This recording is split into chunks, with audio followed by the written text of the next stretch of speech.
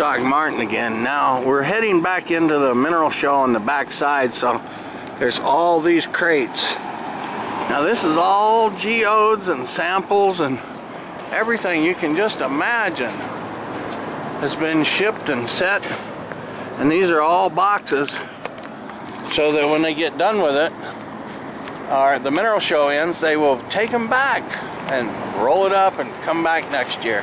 But keep watching this year as KRAZ TV brings you the 2013 um, A Gem and Mineral Show here in Tucson.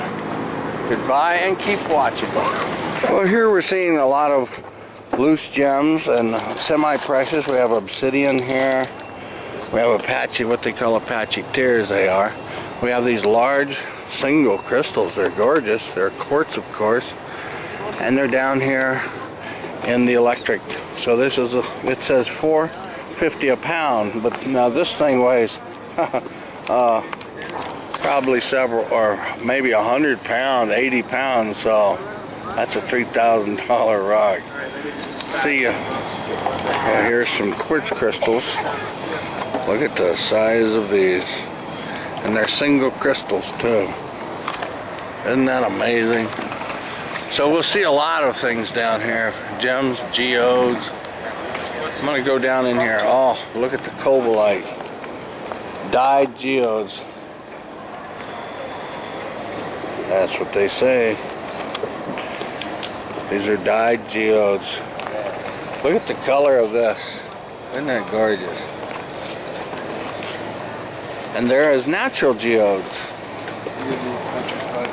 This is petrified palm and other petrified woods done in up into benches. It's called petrified wood bench sets.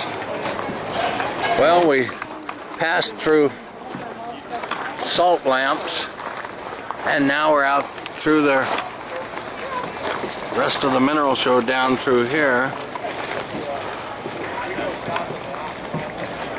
And we'll see what's down there. KRAZ TV. Just sheer shock effect of look at the size of this agate. By the ton. You can actually buy minerals here by the ton. That's from MP Products. All sizes, all species, breeds, and varieties. Well, this is malachite and gems of Africa. The owner graciously agreed for us to go ahead and shoot pictures here. So we're taking pictures of this malachite. That's right. Where's it from? Congo? Congo. Congo.